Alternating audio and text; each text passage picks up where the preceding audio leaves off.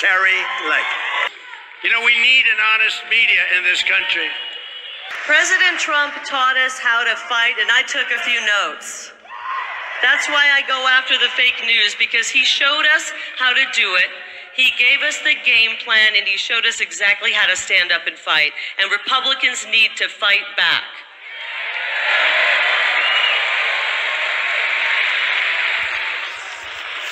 Now, listen, we can't sit back and wait for Superman to come, come in and rescue us right now. We can't wait for Superman to rescue us right now. We have to stand up. We've got to vote. We've got to get active. We have to make sure we tell our friends to vote.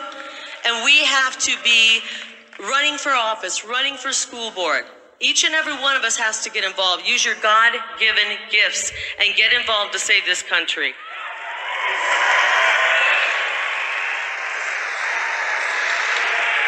Now, I want to say for the record, for the record, I do believe that Superman is coming back.